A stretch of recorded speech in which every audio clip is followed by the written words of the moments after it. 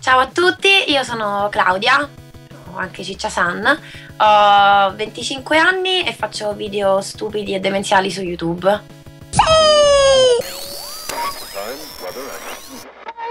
Io sono una persona che non si prende molto sul serio, sono una persona molto autoironica e mi piace tanto ridere e far ridere. Ho scelto di di far ridere perché non lo so, non, non mi andava di, mettere, di, mettermi in cattedra a insegnare qualcosa perché non, alla fine non so fare niente, quindi eh, probabilmente neanche far ridere ci provo. Molto spesso la cosa un pochino proprio mi dispiace, la mia ironia non viene colta, nel senso molti pensano che le cose che io dica siano cose vere. Io scherzo, cioè io scherzo veramente, cioè sto scherzando, è ironia, è ironico, non, non è reale.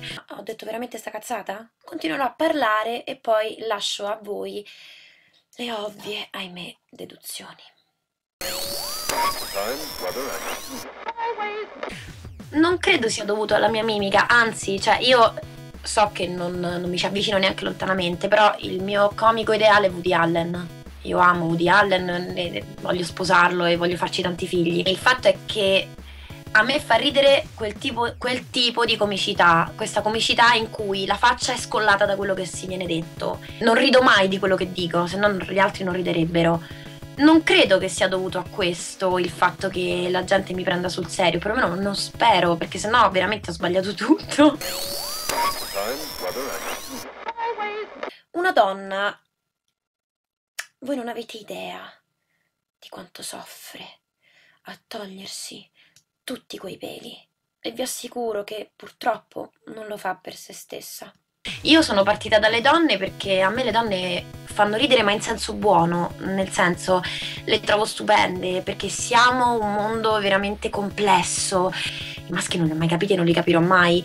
Io ho cominciato con battaglie più piccole, più accessibili, passetto per passetto, che possa essere lo spettacolo, che possa essere la meritocrazia. L'ultimo video che ho fatto, U-Dog, è una satira molto sottile che parla proprio di questo. C'è, c'è tanto qualunquismo, c'è tanto pressappochismo ed è una cosa che è, è, completamente sbagliata perché adesso tutti possono essere tutto. E YouTube è fantastico per questo, perché ti permette di poterti esprimere totale libertà di pensiero ed è democratico. Ma che è successo? Ascolta, abbiamo appena fatto un incidente, stava un ragazzo in macchina, dice di essere diventato cieco, io non lo so, però credo sia sotto shock, non lo so, ci puoi dare una mano per favore? Oh, oh, oh, oh, oh, oh. Oh, che cazzo? Oh. Lascialo, ma che cazzo vuoi che sei un animale, porca puttana?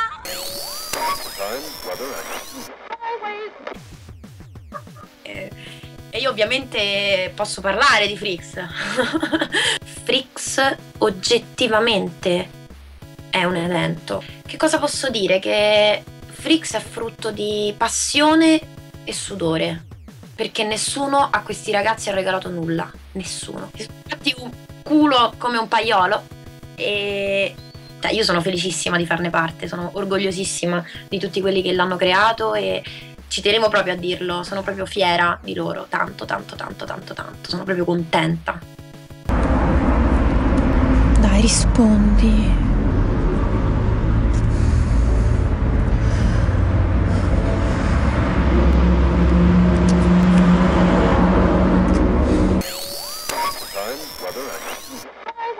Il fatto che Frix abbia molte falle ed è oggettivo, cioè ci sono delle, delle, delle toppe in Frix sicuramente, però loro sono stati dei pionieri in questo e sono stati grandiosi. Non bisogna mai dimenticarsi che è stato scritto da, ragazzi, da ragazzi di 20 anni, eh, senza un euro, cioè ragazzi che lavorano, ma che lavorano, non che guadagnano con YouTube. Possono dire che hanno avuto un'idea furba a unirsi, perché?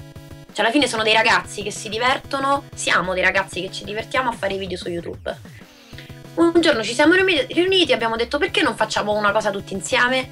Io non ci vedo tutto questo macchinare. Stanno semplicemente riscuotendo il risultato di quello che hanno costruito loro. Nessuno a questi ragazzi ha regalato nulla. Questi ragazzi non sono diventati famosi perché stavano con un politico o perché erano amici di qualcuno dei, dei, dei palinsesti importanti. Sono diventati famosi perché sono bravi. E quindi cos'è che non è giusto.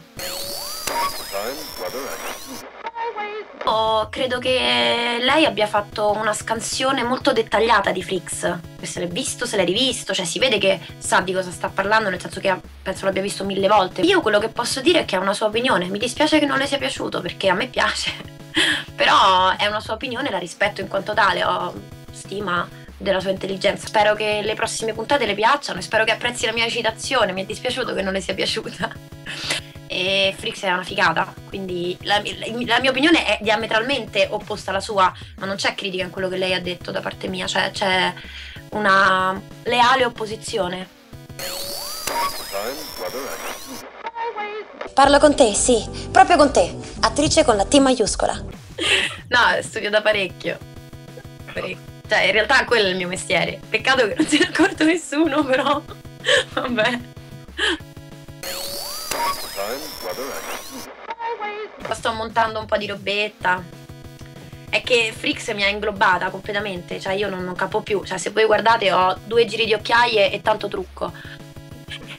eh, però non ho veramente avuto il tempo materiale tra il lavoro e Frix di fare altri video. E ho 2000 idee che voglio fare però non ho avuto il tempo. Quindi chiedo scusa a tutti quelli pochissimi che guardano i miei video. Scusate perdonatemi caricherò i video il prima possibile. Allora qui sta U-Dog U-Dog l'amico delle cagne. Sì!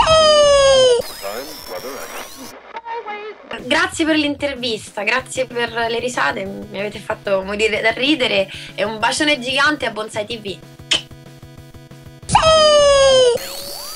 Time, weather, action.